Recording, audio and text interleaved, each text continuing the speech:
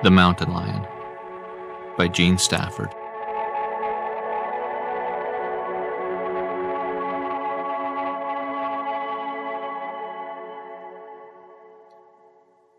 Chapter 9 In the winter, Molly would go on Saturday morning up to the summit of Garland Peak, where, by chance one day turning over a stone, she had found it red with hibernating ladybugs. No one at the ranch or at school had ever heard of this phenomenon, and the president of the Nature Lore Society, a boy of fifteen, told her it was something that ought to interest the people at the agricultural college. Accordingly, she sent the entomology department thousands of them, packing them into matchboxes and wrapping them carefully in heavy brown paper. She got no acknowledgement at all except for one typed postal card without a signature, which notified her that the parcel, it was the 8th, had arrived. She was not at all disheartened and continued weekly to gather the sleeping bugs, sure that an investigation was underway and that in time her name would be mentioned in a monograph in a scientific journal. She went even on the coldest days when the snowdrifts were deep and the pine needles in the glades were ossified with ice. The shapes of the high blue trees were obscured by the snow that encumbered their branches, and they looked like formless ghosts. Sometimes the wind came fiercely down the trackless slopes, blowing sharp pellets into her face. On the upland meadows, the sun was blinding, and walking there was difficult because the crust was thin and the soft piles of snow beneath were deep. Garland Peak had always been her favorite to climb. It was one of the lowest in the first range, lying to the north and west of the ranch. In the summer, she went up the face of it, but since this involved scaling three chimneys, she had to change her route when the storms came and was obliged to approach it indirectly. First climbing halfway up a higher peak, and then cutting across a mesa, down a gulch, and up the opposite bank to the, to the northern base. The ascent was not an easy one at any time of year, but it was worth all the fatigue. From the summit, she commanded a view of the entire valley, of the range as far as the eye could see, and of Cuthbert Pass, beyond which, disappearing finally in a gazy blue, were the highest mountains of all, the Arrowheads, which seemed as far away as the end of the world.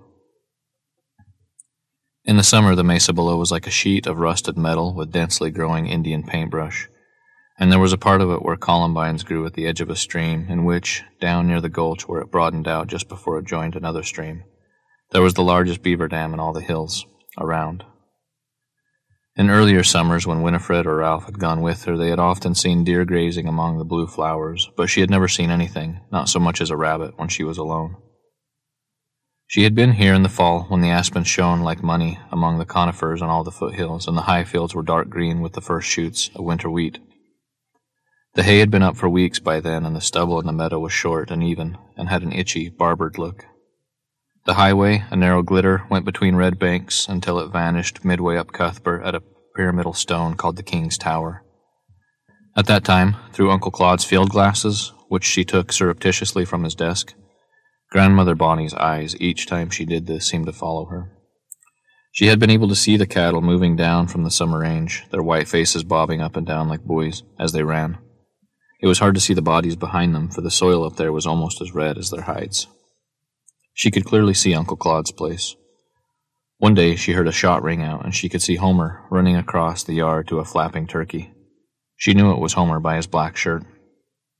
Another time she saw Mrs. Brotherman moving about in the kitchen garden, and Molly, spying on her, said aloud, Miss Budmanny's at the muskmelons. Until she had found the ladybugs, Molly had gone to the mountain to be undisturbed at her writing. She carried her materials with her in a small knapsack on her back, three notebooks with glossy blue covers, on the inside of which was printed the multiplication table and information about weights and measures, a pocket dictionary, pencils and a pocket knife to sharpen them with, a safety match box full of paper clips and one of rubber bands, and, though she had no use for it, several sheets of carbon paper. She had found an ideal glade for her study. It was very small and surrounded so densely by trees and chokecherry that they were almost like walls, and right in the middle, as if planned for her, was a big, flat rock. The first thing she had written there was a long, humorous ballad called The Fierce Mexican, which she was able to admire for several weeks, rereading it nightly when she was in bed. But she turned upon it finally with such loathing that she tore it up into tiny little pieces and tried to forget it, but she could not. The imperfection of the rhyme of Mexican and Mohican stuck to her mind like paste. She had quit writing poetry after that and had simultaneously begun a detective novel called The Mystery of the Portland Vase and a short story about a leper colony. The novel was not successful because it was too short. Furthermore, the reading public would have immediately found her out because the article in the Sunday supplement of the Denver Post, from which she had got the idea, had said that the vase had just been found and had been put under lock and key in the British Museum, about which she knew nothing. But she was well pleased with the short story and thought of submitting it to the Scholastic magazine. The hero was a man named Lord Garnsborough, who had so wasted away that all that was left of him was one tooth. He and his close friend, Launfal Hottentot, who was all gone but the lobe of his right ear, traveled about together in a glass cage, visiting people in worse conditions than they. An especially pitiful case was that of Malachi Strattonbottle, who had nothing left but a small spit curl of oleaginous hair. Now in the winter she wrote in her bedroom in the evenings and on Sundays, and she kept a meticulously detailed account in a separate notebook of what she had seen on her ladybug trips. The ladybug place was very near her studio, and she always looked in. Completely covered in snow, it was as if it lay under dust sheets waiting her return in the spring. In some ways, the view from Cuthbert was more exciting at this season than at any other. On a clear day, it was possible to see the men on the ricks in the pastures, pitching down feed to the herd, which appeared to be hundreds of small red blocks on the glaring snow, as small as her ladybugs. The caribou was frozen solid, and all the trees on either side of it were bare. Molly loved the snow. When she had seen her first snowfall, she pretended to have a sore throat and did not go to school that day but stayed in bed, watching the snow flurry in imperfect circles over the poplar trees. Both Ralph and Uncle Claude thought Molly's enterprise was absurd, and they said they imagined her box of boxes of ladybugs had given rise to all sorts of jokes in the laboratory. Uncle Claude said she called to mind a cranky friend of Grandpa's who had shot magpies for three weeks and had tried to sell the feathers to a veterans hospital to use for burning out the sickroom smells. She did not care a red cent for the opinion of either one of them on this or on any other subject. She rarely talked to them, but now and again, if she particularly did not want to talk to Mrs. Brotherman about plants, she was rather outgrowing her interest in them as a result of Mrs. Brotherman's preoccupation this winter with snake root, which Molly found singularly unattractive. And if she had finished a book and did not want to start another, she would play double Canfield with one of them or casino with both. They were so stupid and slow witted that there was no sport in playing with them, but it was fairly fun to watch them make mistakes. It seemed to Molly when she was alone in the mountains that she had been by herself for years now, really ever since Grandpa had died. It was as if Ralph and her mother and sisters were no blood kin to her at all, as if nobody ever had been except her father and Grandpa Kenyon, who was really only what you called a connection. She was entirely solitary at school, which she disliked this year. She disliked the harsh mountain voices of the children and the teachers and the smell of winter clothes, and she hated riding eye opener over the river and then two miles into town every morning when the sun was just barely up, and then back in the late afternoon when it was already going down, and the light on the snow covered meadows was blue. The children in her grade were so backward that she had to be given extra work to occupy her, and she made notebooks of advertisements clipped from magazines showing different types of houses, landscapes, and occupations. The motto for the occupations notebook was, Give us, oh give us, the man who sings at his work. When she was not unhappy, she was bored. The only things that really gave her pleasure were the ladybugs, her writing, and her plans for a horrible life for Ralph. She became so obsessed with the idea that he would turn into Grandfather Bonney that she almost believed that he looked like him already, and on the flyleaf of her diary she drew a farcical facsimile of the portrait under which she wrote Ralph Bonney, Jr. Every Saturday she took her brownie along. She did not have much luck with photography, and in her pictures the sky took up more space than anything else, and trees and buildings tended to be diagonal. But she hoped that she would one day see Goldilocks and could take her picture, Uncle Claude and Ralph, timid of the snowy slopes, typical, typical, exulted her scornful heart, had left off their hunt and said they would find her in the spring. But just as always before, she never saw a living thing when she was alone. And then, the very day they came with her, they caught sight of the mountain lion. On the Saturday before Christmas, Uncle Claude decided that they must have a Christmas tree. They said they would go to Garland with Molly, and on the way down would cut a big fir, and they took a sled along, leaving it at the foot.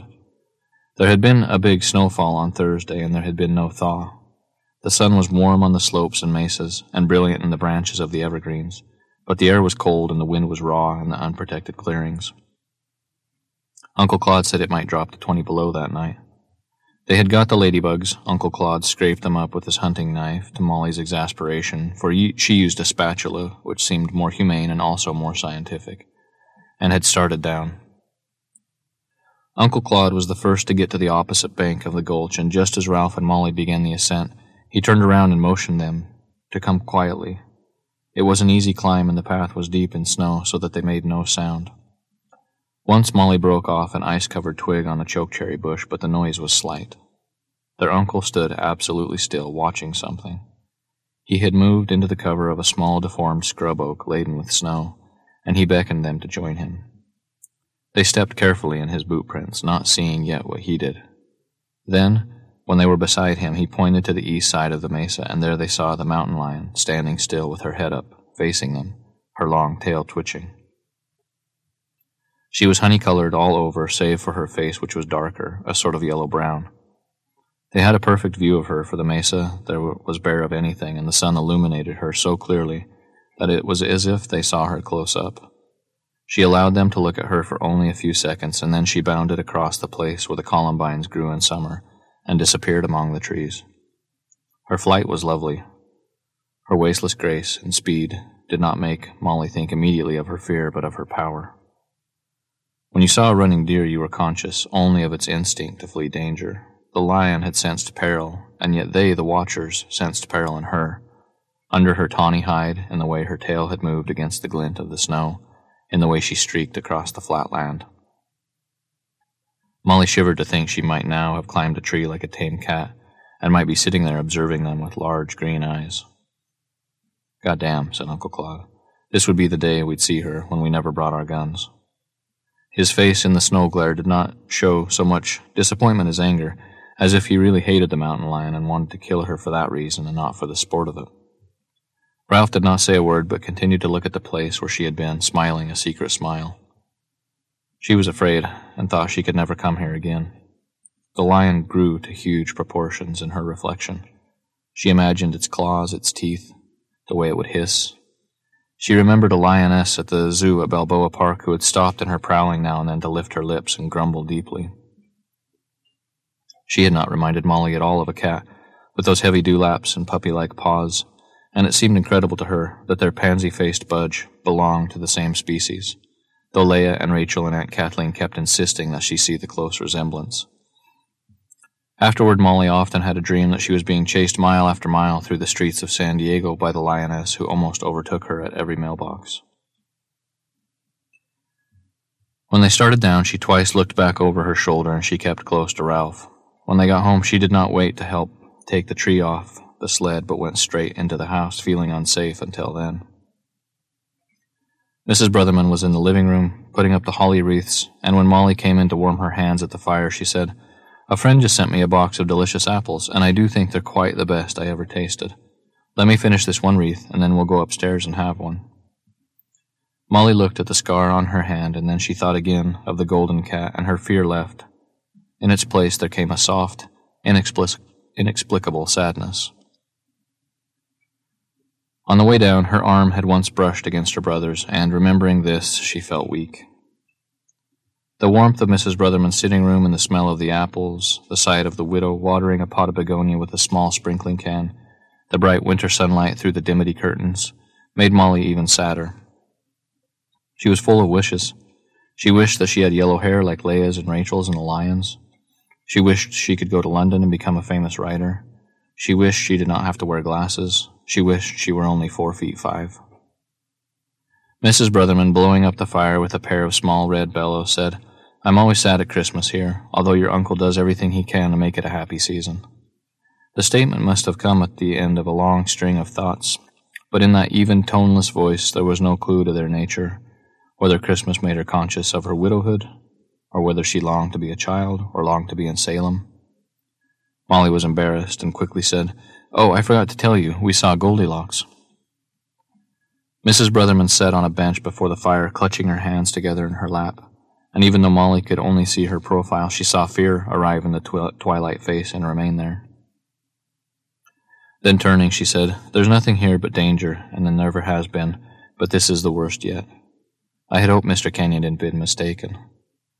Oh, a mountain lion isn't dangerous, said Molly, courageous in the presence of this adult cowardice. They're just as afraid of people as deer are. Perhaps, but I will feel safer when it is dead. I hope you will not go back there. If the men must go, they must, but it's not right for a girl to be alone in the mountains with a lion loose. Molly threw her apple core into the fire and heard it hiss briefly. She too would not feel safe until the beautiful animal was dead. She would never be unafraid at Garland again because in the back of her mind she would always know that the big cat might be watching her from the crotch of a tree or from behind a rock. She left the sitting room and went to her bedroom where she wrapped up the last of the ladybugs she would ever send. She could not keep her mind on anything. It kept darting around like a darning needle, and she did not know what was the matter with her.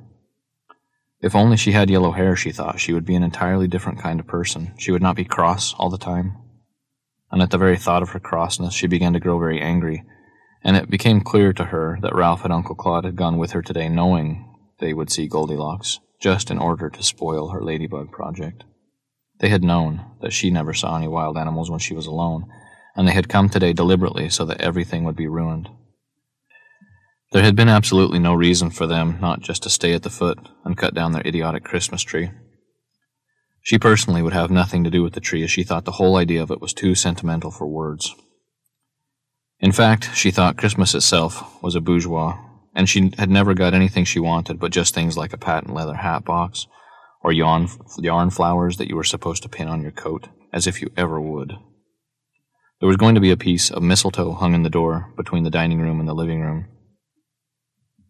and the thought of it gave her goose flesh, because she remembered once in Covina Mr. Follansby had kissed Miss Runyon, and Miss Runyon had squealed and said, Of all things, aren't you the foxy grandpa? And besides that, Uncle Claude had bought a lot of grain alcohol and rot gut. Rot gut. People ought to be put in jail for using words like that. And kept saying that they would all get Stinko, and then I'm going to trim every jackman of you at Red Dog. It was not hard to imagine. They would all pile up to the gallery and clank their silver dollars together, acting as if they were in a movie. And Winifred was coming home. She was coming on the evening train tonight, in fact, and there was no doubt at all that she had acquired insufferable airs. Molly knew because she had got a letter from her in which she sounded exactly like Leah and Rachel. My sorority sisters are griped because I am the only pledge who has already got dated up for the junior prom. Molly had replied, Personally, I have never heard of a junior prom. Possibly you are thinking of Promenade. I thought you went to college to study Cicero's essays, and I must say, Winifred, that you do not sound as if you were making much effort to be an outstanding bas bleu. It had been a severe measure, but one thing no one could ever say about Molly Fawcett was that she was wishy washy. Decisively, she got out her diary and added Winifred's name to the list of unforgivables, and then, because he had wrecked the ladybug business, she also put down Claude Clubfoot, Kenyon. Recent, recently, she had learned that Claude meant lame, and she had decided to put a new character in the story about the leper colony called Claude Binks, who only had one toenail left. She lit the incense in the gilt incense Buddha burner, which she had brought from Covina, and very briefly prayed that the mountain lion would either clear out of the hills or would step into a skunk trap. She hoped neither Ralph nor Uncle Claude would get her. Molly had not yet decided whether she would be a Catholic or a Buddhist, but she had narrowed the choice down to these two, as she certainly had no intention of being either a Presbyterian or a Christian scientist. Magdalen had told her about the holy rollers, but Molly did not think they were her style. Her final decision depended on what would make Mr. Follansby the maddest. And now she sat down at the table and wrote him a letter frankly asking him. She also wrote a letter to President Hoover and one to Henry Ford. They were identical and read Dear Gentlemen, I have been apprised of your outstanding munificence with regard to helping people along the highway of life, and so I wonder if you have any typewriters that you don't need. I am very needful of one myself, and if you could see your way clear to sending me one, I will be very grateful. I think what you have done for other people is wonderful, and I hope it will come to pass that I will have first hand knowledge anent this. Respectfully yours, Molly Fawcett. P.S. There is no railway express here, so you will have to send it by freight. These were quite useless, she knew. She had already asked ten other people of lesser importance, including Dr. Haskell, and had got only one reply, except for a comic postal from the doctor on which he wrote, If at first you don't succeed, try, try again, and so she had. And that was from Spencer Penrose's secretary saying that Mr. Penrose was out of town, was in fact in India, but would attend to her letter when he got back. Of course, the blatherskite never did, and he had been in Colorado Springs for two months now, and she had not heard a word from him. Furthermore, she had read in the Denver Post that he had bought an elephant to bring back to the Broadmoor. What for? thought Molly. Which seemed really unfair considering how badly she needed a typewriter and how much cheaper they were than elephants. She sealed her letters and then stood in front of the mirror with her teeth sticking out. Clara? Clara? she said. Then, without leaving the bureau, but leaning on one elbow, she reached for her diary and her pencil and to the list of unforgivables she added her own name. She burst into tears and cried until she was hungry, and all the time she cried she watched herself in the mirror, getting uglier and uglier until she looked like an Airedale. Easter came late that year. The pasque flowers were already paling on the mesas, and the cactus was in bloom, smelling like melons. This time of year was full of wonders.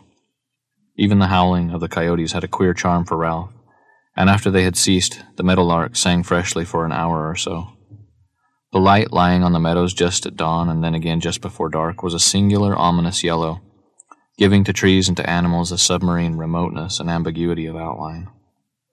But then, in the broad light, and then when the night came, the shapes were separated. There was always a haze on the far mountains, and sometimes it bedimmed Garland Peak.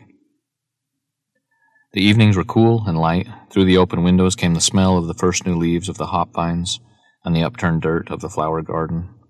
There were clear nocturnal sounds from the direction of the caribou, where the negroes from the mines fished in the dusk, and then when night came, built fires on the river bank to fry their trout and to drink whiskey and sing spirituals amongst the weeping willow trees.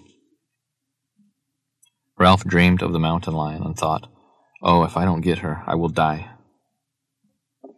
He saw himself standing where they had stood before Christmas, taking perfect aim, shooting her through her proud head with its wary eyes, and then running across the mesa to stroke her soft, saffron flanks and paws. Ralph had always loved cats, and when Budge had died this spring of old age, he had been wretched for days, mourning the lost purr and the quiet feet.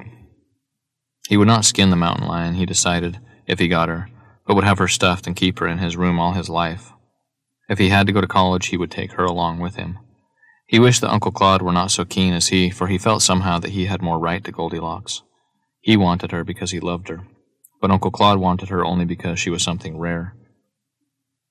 Besides, Uncle Claude would be here forever and could get another, but this was Ralph's last chance. Sometimes, indeed, he forgot that he was not her only hunter, and at such times he seemed to sink into a golden bath of joy. They saw the mountain lion on Easter Sunday. This time she was beside the stream, nearer the gulch than the place where they where she had vanished before, close to the beaver dam. They had only a momentary glimpse of her, and then she leaped away and was out of sight before they could even raise their rifles. They ran to the place where she had been and found that she had left her food, too startled by their voices to carry it off. A half eaten woodchuck lay beside a tree stump, its entrails chewed, but its silly head intact and twisted to a sheepish angle. It had been mauled and slobbered on, and its grizzled hair was clotted.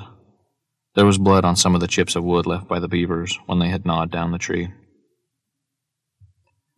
Uncle Claude, frustrated, angry, moved around the stump, examining everything as if he expected to find a clue which would lead him to her den. Sighing, he said, Blast the yellow bitch. And Ralph, feeling himself on the verge of tears, said desolately, What'll we do now?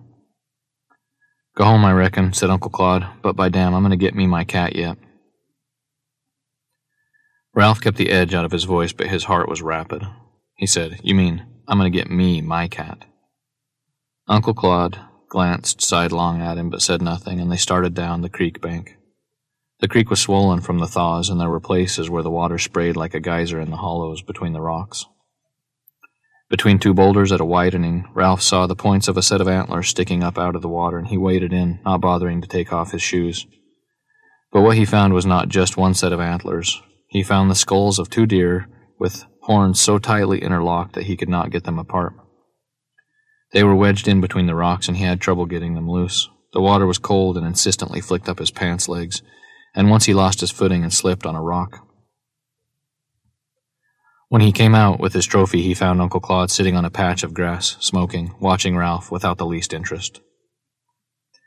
What do you do with them now that you got 'em? he said. Ralph did not immediately answer, but tried again to get the horns apart. His heart constricted when he conjured up what must have taken place the two bucks charging one another, and then by lunatic accident before joining as one toppling into the water to drown, still struggling to get free. But it was not so much the violence of this wilderness death that made him quiver, it was his uncle's indifference. The same indifference he had seen when he looked at the sick bull. His passion for Goldilocks went over him like an ocean wave, for he was determined that she, at least, would be killed not out of this cold calm of Uncle Claude's, but out of his own love for her golden hide. Uncle Claude repeated, What will you do with them? Why, I'll take them to Magdalen as a present, he said. Or no, I'll take them to Molly. Uncle Claude laughed shortly. You'd better take Molly a box of candy to sweeten her disposition. What's the matter with that kid, anyway? Ralph took in his breath sharply. Search me, he said. Later, when he took the antlers up to Molly's room, he found her lying on her bed with the counterpane over her head. She pulled it down and stared at his present with terrible woe, but without scorn. They exchanged at last, after these months, a look of understanding, and Molly said, Thanks, Ralph. I'll shoot them with my brownie. Finally, school was over. On the night of commencement, he sat in the hot auditorium where the June bugs bumbled foolishly against the window screens, and the teacher sat among the baskets of gladioli and the potted rubber plants on the stage, listening to a boy in glasses deliver the valedictory. His voice broke twice, rising to a plaintive scream, once on the word emperor and once on romance. He used phrases like elegiac cadences and poetic counterpoint, and he said that Virgil had been born to the purple of classic literature. When he came to the end, he begged permission to finish with the lines of a devotee of Roman literature more mellifluous than myself, id est Alfred Lord Tennyson, and he recited Frater Ave atque vale, Ralph immediately saw the portrait of Grandfather Bonney, and he was clutched by terror at the shortness of the time. He felt that his mother and sisters, who were now in Venice, were speeding, were about to overtake him, and there was no time to lose, for he must have Goldilocks before they came. He looked for Molly, who was to receive an eighth grade diploma. She was sitting three rows away from him, and when the boy had finished, she turned round and looked directly at her brother, puffing out her cheeks to look like a fat person. The day after that, they took the car, Ralph, Winifred, and Molly. Winifred drove, and they went as far up Garland as the red road went.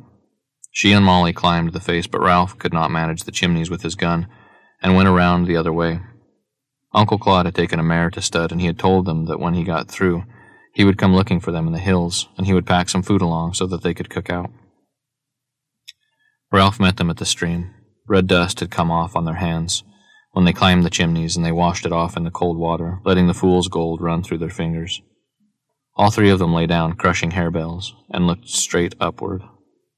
A chicken hawk lazily banked and coasted across the sky, behind them in the forest.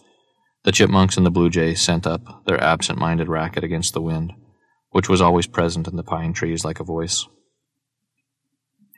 Hearing it, Ralph wished he were at the foot of a tree in the strange and smoky shade and were lying on the pinkish brown pine needles. But the high, hot sun was too excellent to leave. Winifred held her arm over her eyes, and Ralph noticed the tiny golden hairs on her wrists and on the back of her hands. She was not going back to college next year. She was going to marry John Fulbright on the 1st of July, and they were going to the eastern part of the state to start a truck farm. Mrs. Brotherman, too, was leaving the Barquet now that her daughter was grown. She was going back to Salem. Ralph was sure that the odor of apples would cling to her rooms. He thought how lonely his uncle would be next winter and was sorry for him. The winter was an idle time for him, and in this year Ralph had seen that idleness aged him. He did little of the feeding himself because some years before he had ridden into town without chaps, had been delayed, and coming back after the sun had gone down, and when the thermometer registered 25 below, he had frozen both his legs, and he was afraid thereafter of freezing them again. He hunted a little, emptied his traps, and took care of his beaver and ermine hides, gave a hand with the milking, and gathered the eggs for Magdalen. The rest of the time he spent at his desk, studying the histories of his bulls and writing letters on lined paper with an indelible pencil to his foreman on the other ranches, playing a kind of solitaire called Once in a Blue Moon, and reading books like The Count of Monte Cristo, Graustark, and Beau Edil.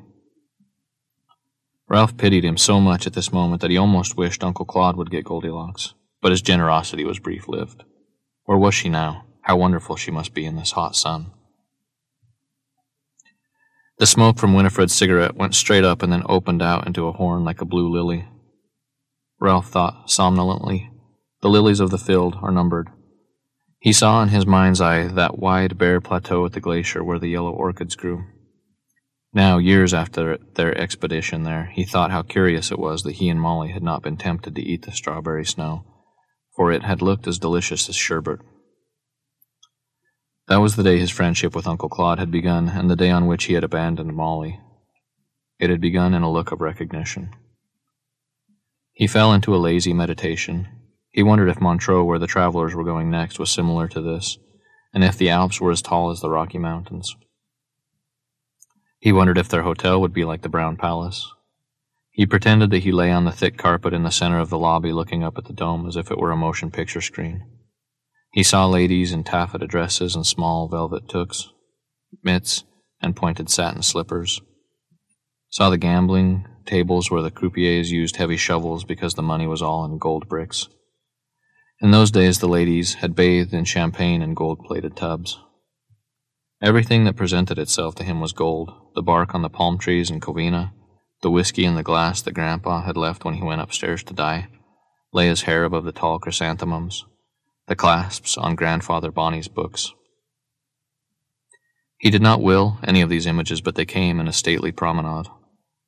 There was a small gold brooch of two clasped hands in his mother's button box, and in the same box was a tarnished heart shaped locket on a fine chain. He remembered Jesus' halo on the cards given out at Sunday school, the gilt star of Bethlehem on the Christmas tree, his tenderfoot pin. Once they heard a freight train going out, and once, from somewhere miles away, a blast of dynamite. Contented as he was with his present time, he was idly trying to think what it was reminded him of, and when at last, opening his eyes, he saw the chicken hawk again. He remembered the airplane those long years ago, when he and Molly had lain on the lippia lawn, waiting for Uncle Claude to come and bury Grandpa. He said, Molly, do you remember the airplane that day of Grandpa Kenyon's funeral? His voice sounded submerged and hesitant to him, and he found he was trembling for her answer. She paused a long time, and then, leaning across Winifred, she looked straight at him and said, All I remember in the whole wide world is that I hate you and I hope you will get fat. Winifred laughed. You've got the worst temper in the county. I beg to differ, said Molly. It is the worst in the state, in the United States, in North America, in the Western Hemisphere, in the world, in the universe. She said this rapidly, letting her voice rise powerfully. All right, be a bad sport, said Ralph wearily, and closed his eyes again. You'd be a bad sport too, she said to Winifred, if you knew what he said to me. Molly, he cried and sat up straight. What did he say? asked Winifred, amused. Molly, if you tell, I'll. You'll what? She looked at him coldly. Then she stretched out her long, thin arm and pointed in the direction of Cuthbert Pass and said, if we had the field glasses, we could see the tunnel from here. What did Ralph say to you, Molly? insisted Winifred. Oh, I don't intend to tell you, Winifred Brotherman. By the by, don't you think Ralph is getting fat? He jumped to his feet and picked up his gun. I'm going now, he said tightly. What for? Molly smiled at him teasingly, twirling a harebell between her fingers. Cat fur to make kitten breeches, he snapped, and then was annoyed with himself for using the childhood joke. That is a very good pun, I'm sorry to say, said Molly. I surely don't think you knew as you were making it, as I have never known anyone more unfurnished in the upper story. He did not know what she was talking about. He did not understand the pun he had made. Striding through the harebells, he enjoyed the feeling of crushing the blue flowers under his feet. Winifred called after him, Good luck, but he did not turn back. He could not have any luck, for even if he saw Goldilocks, he couldn't shoot until Uncle Claude came. He went downstream toward the beaver dam, making too much noise at first in his irritation with Molly, and then treading lightly on the mossy, resilient ground. He passed the place where he had found the antlers, and thought how wrong he had been the day he had given them to Molly, and had thought that they had understood one another again. He felt suddenly that he was going along this stream for the last time. Molly had spoiled everything, and he could not even care about Goldilocks. Damn her, he said, damn her. It was only Goldilocks that had made him able to forget the tunnel. Now she had wrecked it all. It was possible even now that she was telling Winifred, but on second thoughts, this seemed unlikely. She was too smart. She would save up and use it when the right time came. She was always saving up something and always had. She saved her candy at Christmas until everyone else had finished, and then a day or so later she brought all hers out and ate it in front of them and wouldn't give them a crumb of it. And she saved up all the jokes she heard and the things people had said and other people's dreams so that she had the reputation of being interesting, although no one could stand her because she was so sarcastic she would, for instance, take the pun he had made and pretend it was her own. He sat down finally on a lichen covered rock beside the beaver dam. One day late in October, he had come here by himself not to hunt for Goldilocks, but to escape Uncle Claude, who had wanted him to go and look at the winter wheat. The day had been cold with a wind and a chill that crept along the skin, not quite penetrating. The sky was heavy and the leaves were all fallen and were all brown. The skinny trees were already gray with winter, and the ferns underfoot crumbled, making a faint sound. He had seen a weasel and had thought how in just a little while its coat would turn white, and it would be an ermine.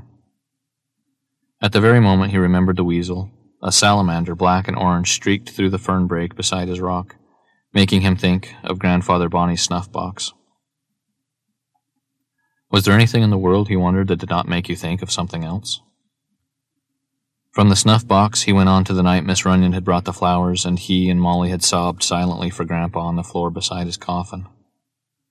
Nothing had ever really been right since then, but why? He perfectly saw the old man and perfectly heard him sing. Oh, we'll sit on his white house bane, and I'll pike out his bonny blue eyne. Wi' a lock of his golden hair, we'll theek our nest when it blaws bare.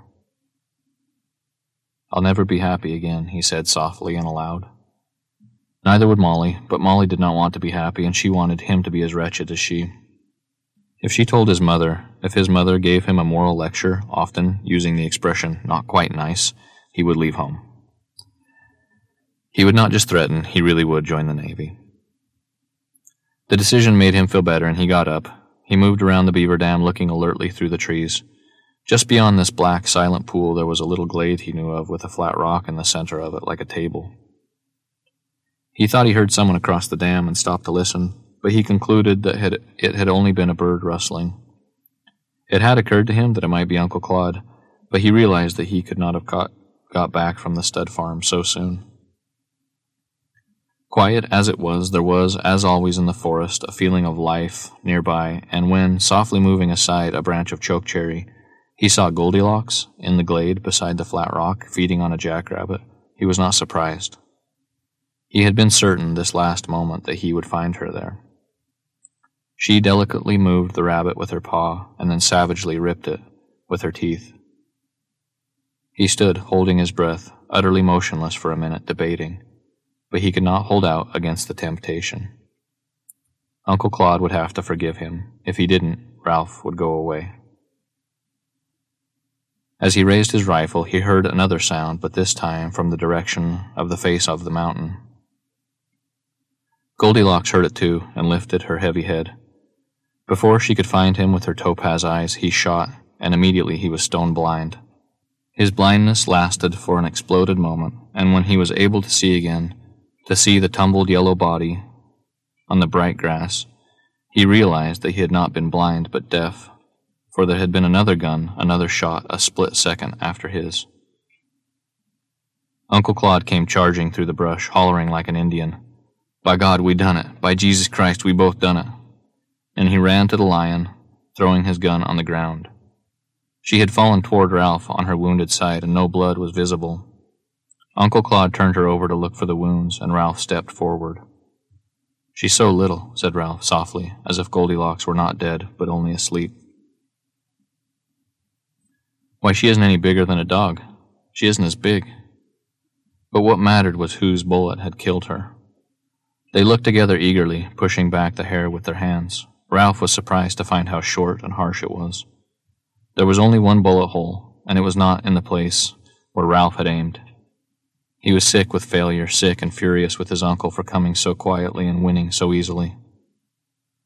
Uncle Claude said, No man alive can judge which one of us got her. I reckon we'll have to call it a corporation.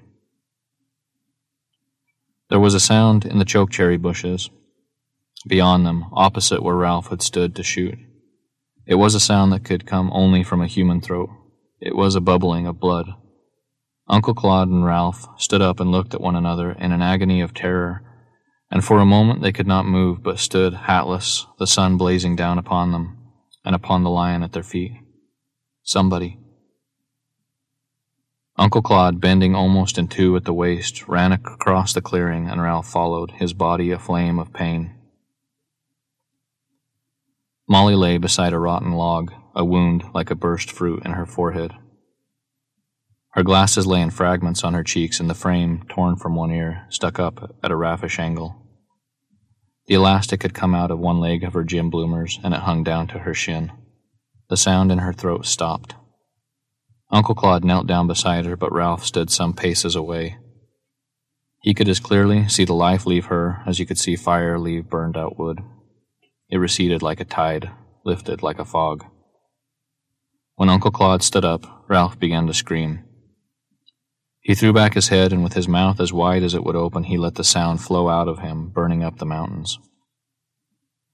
Then he was too hoarse to scream any longer, and he threw himself down on the ground and pounded the pine needles with his fists, and with his feet moaning, I didn't see her. I didn't hear her. I didn't kill her.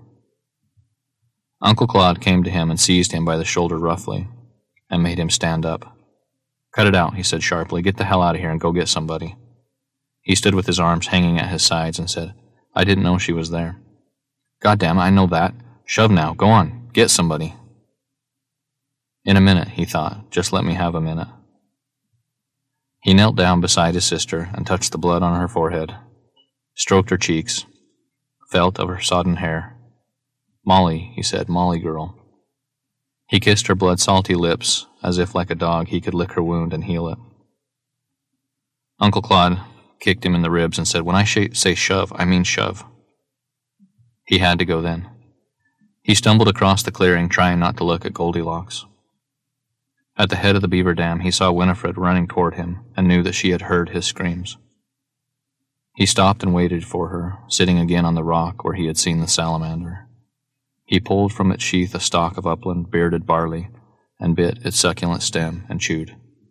There was neither a past nor a future to his life in this single yellow minute. When she came panting up, he said, Go on through the clearing. They're on the other side, and though her face questioned him, she ran on without a word. For a long time he sat there muttering like a crazy man Molly, Molly, Molly, Molly. He said it until they came back. Winifred, carrying the guns, and Uncle Claude carrying his dead sister with her ruined head. They had tied a handkerchief around her forehead so that you could not see the hole, but the blood had soaked through. Relaxed like that in Uncle Claude's arms, she looked like a tall, slim monkey. By the time they got her down to the car, the sun was setting. Directly, Ralph thought there would be that evil, yellow light. Uncle Claude and Winifred sat in the front, and Ralph sat in the back beside Molly, whom they had propped up like a person. He looked straight ahead, watching the road being devoured by the car like an endless red noodle. Magdalene was in the front yard picking mint, and Uncle Claude called to her to come and help. She came to the car and looked in at Molly. There was no emotion at all on her pleated black face. But as soon as she spoke, Ralph was able to collapse.